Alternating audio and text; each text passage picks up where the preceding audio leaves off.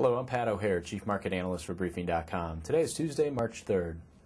Stocks traded without clear direction as market participants were left uninspired by the absence of market moving headlines. In turn, the major indices swung back and forth before closing lower for the fifth straight session. Consequently, the mounting losses have taken the S&P 500 and the Dow to new multi-year lows. The S&P 500 is now down almost 56% from its bull market high which was reached in late 2007. The Dow is down roughly 53% from its 2007 high. With stocks looking oversold, market participants actually bid the stock market up as much as 1.5% in the early going. The advance was broad based, but eventually fell apart. Only the energy sector, which was up 0.3%, the technology sector, which was also up 0.3%, and the basic materials sector, which was up 0.6%, were able to finish the session higher.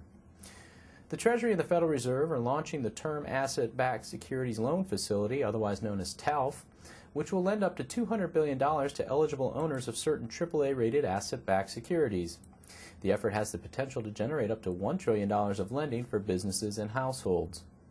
The program will hold monthly fundings through December 2009 or longer if the Federal Reserve chooses to extend the facility. By creating a facility that will purchase certain asset backed securities, the Fed is aiming to improve liquidity and credit conditions in the financial system. According to Fed Chairman Bernanke, the effectiveness of actions in restoring financial stability will be critical in the timing and strength of a broader economic recovery. Still, Bernanke indicated the near term outlook for the economy remains weak. Economists at Goldman Sachs concur. They expect the U.S. economy will fall 7% in the first quarter, according to Dow Jones. Despite housing stimulus provisions, pending home sales in Jan January declined 7.7%. The consensus estimate called for a 3.5% decline. The data reflect the effects of ongoing job losses, lost wealth, and weak consumer confidence. Similar forces continue weighing heavily on auto sales.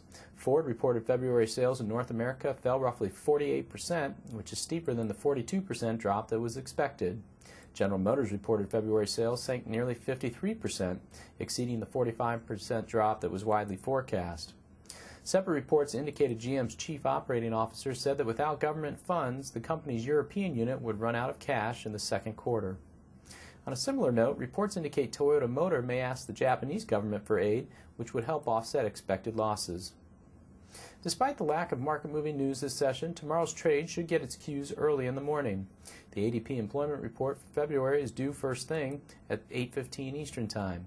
The report will provide a glimpse of the government's official jobs report, which is due Friday. The February ISM Services Index is due later in the morning at 10 o'clock Eastern Time. I'm Pat O'Hare for Briefing.com. Thanks for listening.